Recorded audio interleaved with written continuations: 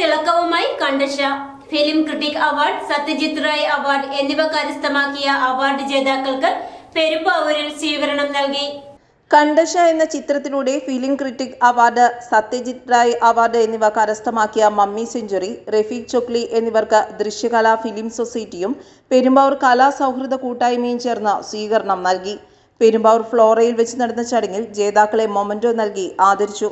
കൊച്ചുണ്ണി പെരുമ്പാവൂർ അധ്യക്ഷത വഹിച്ചു. മുൻ municipal chairman advocate N C Mohanan ഉദ്ഘാടനം ചെയ്തു.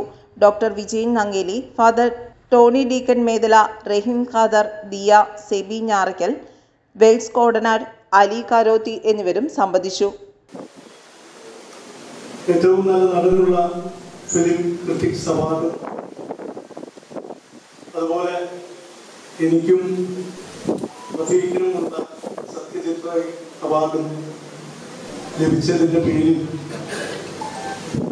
ഇവിടെ ഒരുക്കിയിരിക്കുന്ന ഒരു അനുമോദന ചടങ്ങാണ്.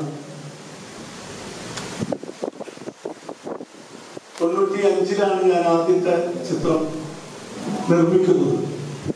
എല്ലാവർക്കും എവിടെ ചെന്നാലും മലയാളികളുടെ മുമ്പിൽ ആ പേര് പറയുമ്പോൾ ഇന്ന് കിട്ടുന്ന ഒരു ബഹുമാനമുണ്ട് ജൂനിയർ മാൻഡ്രേ എന്ന ചിത്രം. ആയിരത്തി തൊള്ളായിരത്തി തൊണ്ണൂറ്റി അഞ്ചിലാണ് ആ ചിത്രം നിർമ്മിക്കുന്നത്. തൊണ്ണൂറ്റി ആറിലാണ് റിലീസ് ചെയ്തത്. News desk Perumbavoor.